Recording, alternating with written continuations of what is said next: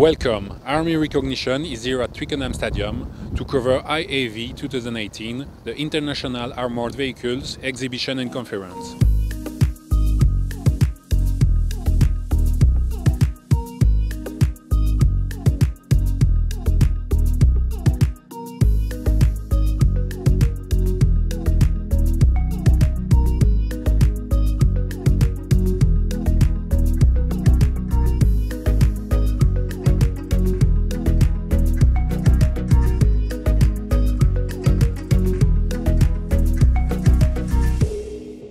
Today I'd like to introduce you to the Bushmaster MR6.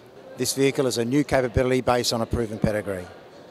Bushmaster today, as the MR6, is introducing a new hull, new driveline components and new, and new features to provide more protection, enhanced mobility and greater capacity in terms of payload and internal volume.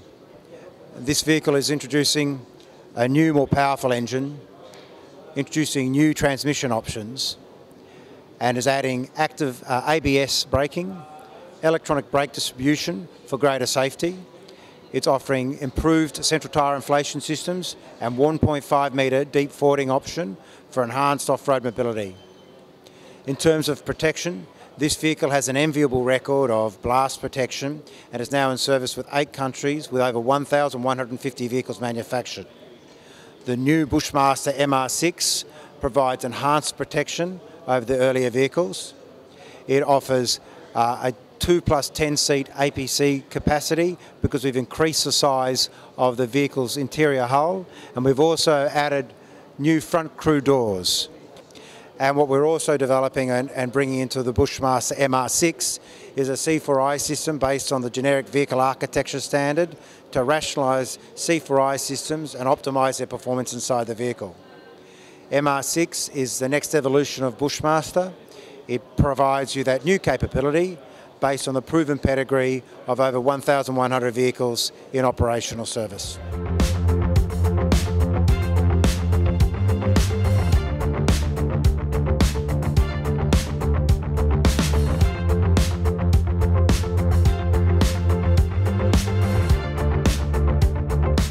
Today, uh, NIMR Automotive is here at the International Armoured Vehicle Conference uh, here in London. Uh, this is the second year in a row that NIMR is the lead partner for the uh, armoured vehicle conferences held by IQ Defence. Uh, today we have our uh, NIMR RIV platform here uh, on display. RIV is our rapid intervention vehicle. It's a four-ton special operations vehicle, uh, 300 horsepower engine, uh, designed for rapid insertion and CH-47 transportability.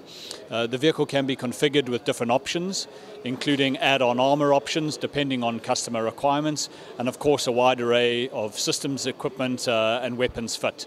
Uh, we see a growing demand for these type of platforms uh, within uh, uh both uh, the Middle East as well as within uh, Eastern European market, where countries look to replace legacy systems that were typically based on commercial chassis with a more military bespoke platform.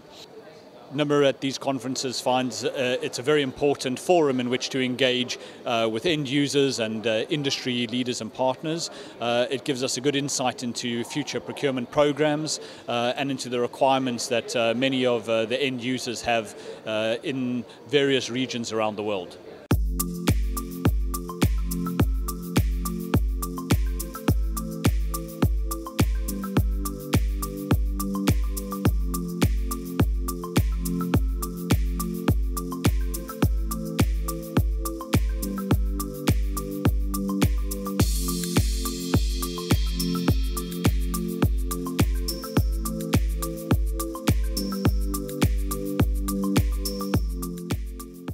What we're showing here today is a new range of high noise headsets. These are uh, vehicle crew headsets. This is RA4000 Magna. Uh, it's designed to give a vehicle crew member uh, hearing protection so that they, their hearing is not damaged uh, due to the high noise within the vehicle. Typically this is going to be um, 110, 120 dBs. This headset protects you by uh, giving you 37 dBs of protection to bring it down to a safe level. So you have um, safe hearing but also good communications, good intelligibility in that type of environment. So the important things to a crew member are things like the, the weight of the headsets, the uh, feature set, and what we've got in this device is some advanced electronics uh, which are giving you digital active noise reduction. That gives a superior hearing protection of 37 dBs. We have microphones on the outside, so that gives you situation awareness. You can hear what's going on around you without having to lift off, which would defeat the uh, protection level. Uh, and you can control the volume without having to reach to a crew box. So it's a very ergonomic design. Uh, the other huge benefit of this, in, uh, in addition to the military robustness of the design, because you'd expect uh, a product in the military to be uh, robust, this is also waterproof, so you're immersible to one metre, because um, you can operate with the tank with the head out in rain, in snow, in ice, and this product is designed to cope with that. So we have some superb uh, technology here. It's battery operated. There's one standard AA inside here, which will power the unit for uh, 70 hours, uh, but it'll also connect to intercoms, radios, smartphones to give you good communications and comfort.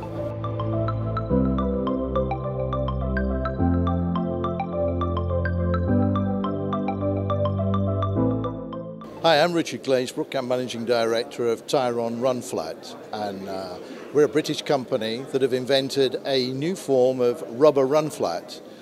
And the unique feature is the fact that it's a modular system. What this means is, is that people can easily change the tyres without any special machines. What is a run flat, people may ask? Well, a run flat is designed that in the event of a tyre being shot out, the, where the tyre goes flat, instead of going completely flat, it falls onto the run flat and gives you the capability of travelling up to 100 kilometres with two or more tyres taken out. Uh, we have, a, as I was saying earlier, we have a full range, and we have a, at the back here a range of different sizes, from Toyota Land Cruisers to the full 8x8 fighting vehicles. Eurosatory is coming up in June, and it, at that exhibition we'll be launching the first ever rubber run flat with a carbon fibre insert. What this means is, is that we're going to be able to halve the unsprung weight of a run flat. This is substantial improvement to run flat technology because not only can we give the performance, but, but by saving as much as 400 kilos on an 8x8 vehicle, it's a significant uh, improvement and development. So come and see us at Eurosatory.